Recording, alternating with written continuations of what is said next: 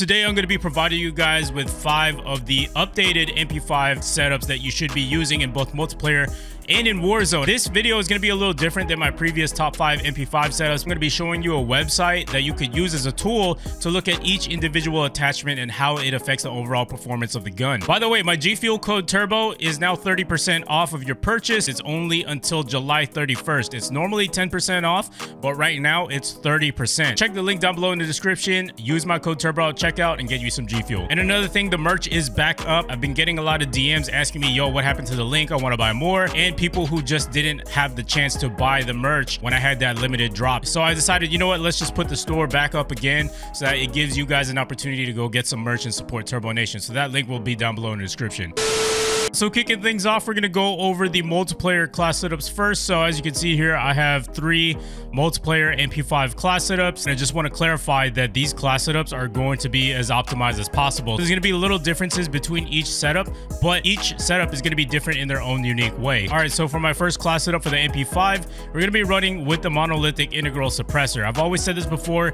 This is the attachment that you always want to run on the MP5, no matter what kind of build that you're trying to go for. This one gives you sound and bullet velocity. Now, the key thing about this attachment is that it actually adds the most range that you could possibly get on the MP5 versus the monolithic suppressor. All right, so for the next attachment, we're using the FTAC collapsible stock. So I need to clarify that yes, during the last update, they did nerf the no stock attachment, and the FTAC collapsible is one of those attachments that does fall under that category.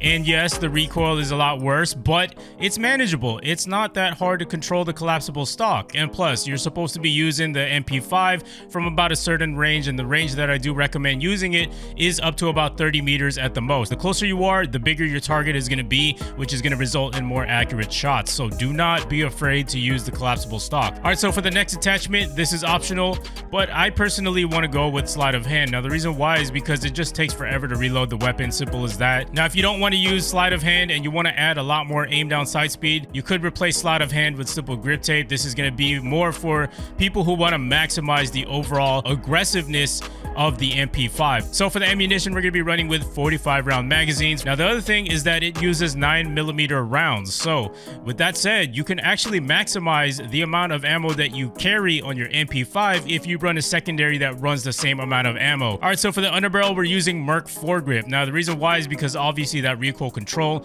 is going to mitigate those negatives that are seen on the collapsible stock. Also, that hipfire accuracy is nice for close quarter engagements if you don't want to aim down sights. Now, one small pro that is not stated in this description about the Merc foregrip is that it adds more movement speed. And that's something that I'm going to show you later on in the website. All right, so for the secondary, we're running with the M19. Now, the reason why I chose the M19 for this specific class setup is because you're able to hold 32 round mags. So we're using 32 round mags. Perk is going to be fully loaded.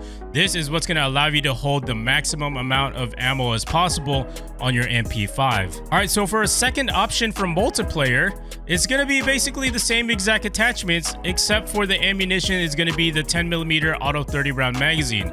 So this is one of the attachments that was nerfed in the last update. The damage range decrease is not that bad. It's only by a couple feet, and you're not really going to notice that anyway, because like I said, you do want to use this up close and personal. And we are also going to be comparing and contrasting the different ranges and time to kills for all of the classes that I'm going to go over later on the video. This attachment is going to give you the best time to kill out of all the MP5 class setups that I'm about to show you. However, it does have its caveats. It only has 30 rounds in each magazine. So you have to keep that in mind. And it's all about how you use the weapon and maximize it to its potential. And you got to recognize its weaknesses as well. And you have to adjust your playstyle accordingly. And on this specific class setup, I do recommend you use sleight of hand because you only have 30 rounds to work with. You're going to find yourself reloading pretty often.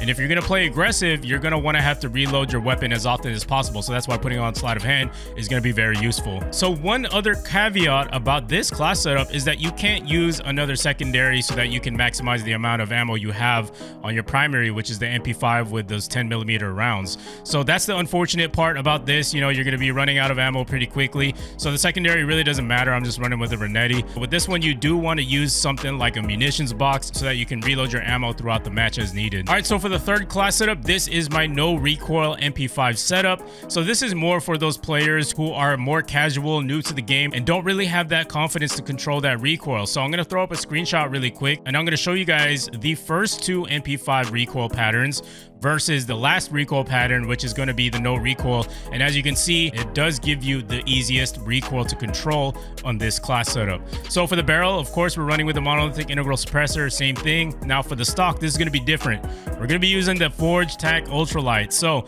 on the pros, it says it increases your aim walking movement speed. Basically what this is, is that when you're coming off of a sprint and you pull your gun up to aim down sights, that's what aim down sight walking speed is. You know, and, and the good thing about this is that it doesn't really have any major cons to it that would turn me off from using this attachment. So for the rear grip, we're going to be using stippled grip tape. Now, the reason why I'm using this is so that we can have more aim down sight speed and sprint to fire speed. Remember, we're not using the no stock on this exact class setup. So we're going to go ahead and maximize the potential of this weapon as far as aim down sight speed goes, since we don't have the collapsible stock by using the stippled grip tape. It's going to give us aim down sight speed and sprint to fire speed as well. All right, so for the ammunition, we're going to be running with 45 round mags. Again, we're going to use a secondary such as the M19 so that we can maximize the amount of ammo that we have. All right, so for the underbarrel, we're using the Merc foregrip once again. And again, my secondary is M19 so we can maximize the ammo capacity of our MP5 thanks to the 32 round mags and the perk fully loaded. All right, so let's go over my Warzone setups really quickly here. So one thing that I want to outline about my Warzone setups is that I only use SMGs as a secondary. So that means I'm using overkill in my first loadout. So this is the Bruin MK9. This is what I'm currently using right now, but it doesn't matter. You can use this setup if you want to. Now, the important thing about this setup is that you want to use the MP5 only in close quarter combat situations. And also when you're trying to get from point A to point B in Warzone, you'll just move a lot faster, obviously, because you're using an SMG. For the barrel, I'm using the monolithic integral suppressor. For the laser, this one's optional. You don't have to use the laser if you're not comfortable with hip firing, but when you use this attachment, that hip fire spread and that sprint to fire accuracy is super handy when you're clearing out buildings. You don't even have to aim down sights. You can take down opponents in buildings really quickly just by hip firing your opponents. All right, so for the stock, we're going to be using the FTAC collapsible stock. Now for the ammunition, this is going to be optional. It just really depends on the person. It really depends if you care about having as much ammo as possible or you want the fastest time to kill possible. Because some people, they're not accurate, so they got to go with the 45 round mags. And other people choose the 30 round mags because they want that faster time to kill and they're a lot more accurate with their shots. And keep in mind, the time to kill between these two at the same ranges, they're very similar. If anything, the 10 millimeter kills faster just slightly. All right, so for the underbarrel, we're going to be running with that Merc foregrip. So for the perks, it's going to be EOD, Overkill, and Amped. When you get your second loadout, you want to have the same exact loadout, except for perk number two, it's going to be Ghost, so that you can switch out your secondary on your second loadout back for your MP5, and now you also have your Bruin MK9 with the Ghost perk. So for lethal, it's going to be C4, tactical is going to be heartbeat sensor. All right, so pretty much this second option for Warzone is almost the same as my first Warzone loadout. The only thing that's going to be different is the ammunition. So on this one, we're going to be running 10 millimeter auto 30 round magazine. Now, I'm only going to use this if I feel like I want to move a lot faster in game because obviously with the 45 round mags, your movement speed is going to be hindered quite a bit. So if you're more comfortable with accuracy, I do recommend you use the 30 round mags and at the same time, this does give you faster movement speed because with 45 round mags, obviously you're going to move a little bit slower. Now, one thing that's optional on this one is you don't need to use the 5 milliwatt laser. You can take this off and put on the perk sleight of hand instead because we are using 30 round mags only and in Warzone you do need a certain amount of shots to down your opponents because they are wearing plates in Warzone so you definitely do want to have sleight of hand to be able to take on that enemy's teammates. So now that you've seen all of my top 5 MP5 setups let's switch over to the website and let me show you exactly why this website is useful. So now that we've got a bit of a sense of exactly what we're going to be using on our MP5s, you know, no matter which route you choose, let's go ahead and explore this website. So the website is going to be truegamedata.com. Shout out to the maker of this website. He does a lot of hard work for us here in the Call of Duty community. So the least we can do is show some love back. You know, I'll leave all his links in the description down below. I've already gone ahead and plugged in all the data for all the class setups. So as you can see right here, we have the MP5 number one, number two with the 10 millimeter, MP5 number three. This is going to be the no recoil one, by the way. Number four is going to be Warzone loadout number one. Number five is going to be Warzone loadout number two. So let's just take a quick comparison of the summary data here. And we're going to go row by row here. And we're just going to take a look and compare and contrast which ones are actually better than the other and what's better suited for you. So for my MP5 number one setup, we have the monolithic integral suppressor. And I did tell you guys that this gives you the most amount of damage range possible. So if you take a look at the monolithic suppressor, as you can see right here, it adds 10% to your range.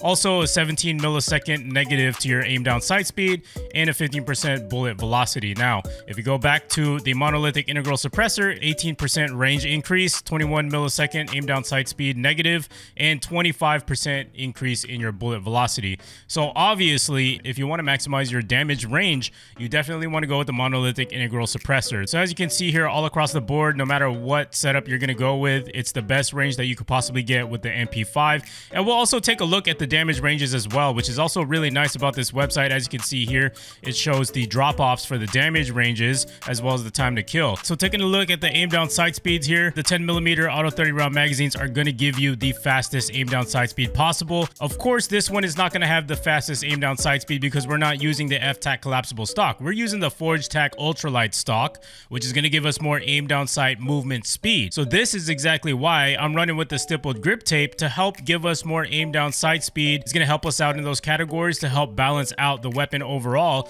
because the weapon is mostly about controlling that recoil and getting a laser beam type of accuracy. But if you take a look at the differences here between the Warzone loadouts and the first two multiplayer class setups that I do recommend, there's only a 10 millisecond difference. So you're not really going to see much of a difference in aim down sight speed. However, you might feel it in the no recoil setup. So that's for you guys to decide. All right, so for the sprint to fire time, clearly the no recoil MP5 setup for multiplayer is going to give you the fastest sprint to fire time.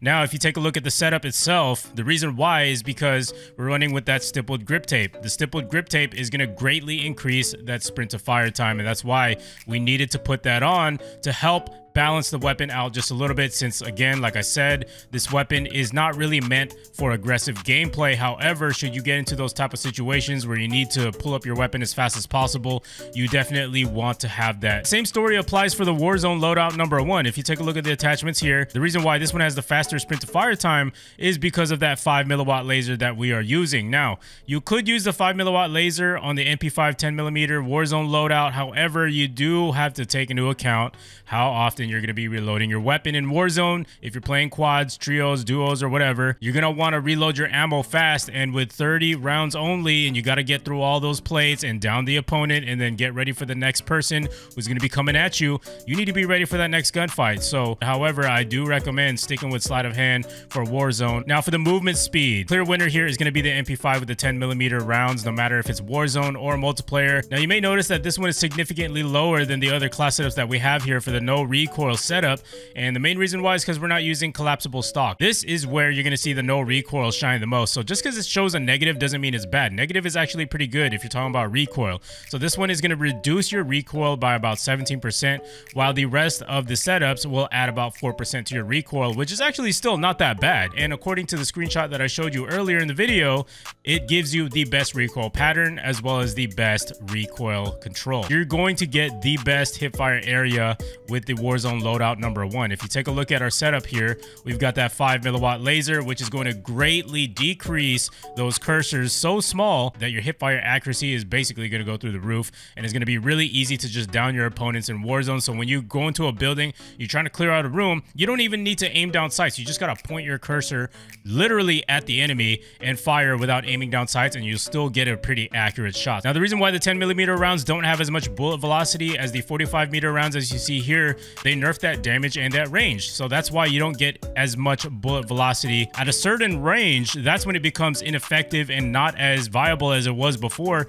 And that's what exactly we're going to take a look at now. So uh, here's the comparison chart. This is for multiplayer, by the way. This is also what's really nice about this website is that you can change the target's health accordingly, depending on what stats you want to look at. So obviously, we're going to look at multiplayer first, and you could also play around with these settings here, include open bolt delay. Open bolt delay is the time between pulling the trigger and a bullet actually firing. So of course, we want to turn that on. And I also turned on the percentage of ADS time all the way up to 100% so that we can get as accurate as possible. It says in general, you will want the slider to be at zero or 100%. There are certain situations situations where you can start firing before ADSing. In those situations, you would want to include a percentage of ADS on this slider. So I have mine at 100% here. And bullet travel time to target. This also we want. Bullet travel time to target is the time it takes for the bullet to reach the target. I just went ahead and removed the Warzone loadouts because for some reason it wasn't showing the stats. So we're going to get into that in just a little bit. But as you can see here, for the no recoil setup, it has a significantly higher time to kill. Now, the reason why is because we're not running with the collapsible stock. Now, as you can see here, this accounts for the ADS time.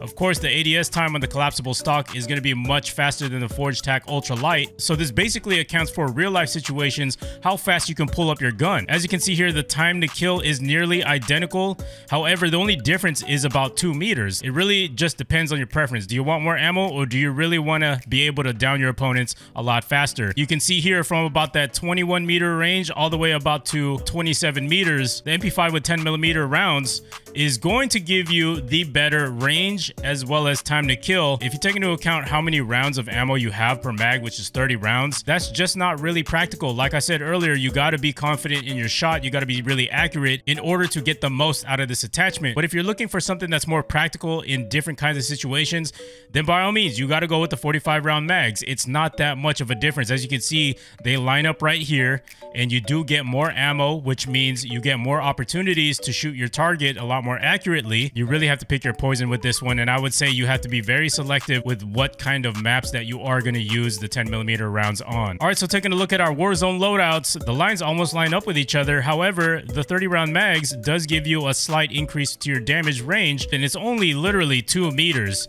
So like I said before, it's really up to you. As long as you use the MP5 up close and personal to clear out buildings, you're not going to see much of a difference in time to kill as far as the MP5 with 45 25 round mags goes versus the 30 round mags. The only real edge that the 30 round mags has is that it has a faster movement speed. So that's something that you have to account for as well. But it does have less ammo, so you are going to need to run sleight of hand. That about wraps it up for today's video. Leave a like on this video if you did find this video helpful and subscribe so you can make your way back to the channel and turn on notifications as well. And let me know down below in the comments which MP5 class setup are you going to be going with for both multiplayer and in Warzone. I'll see you guys in the next video. Peace.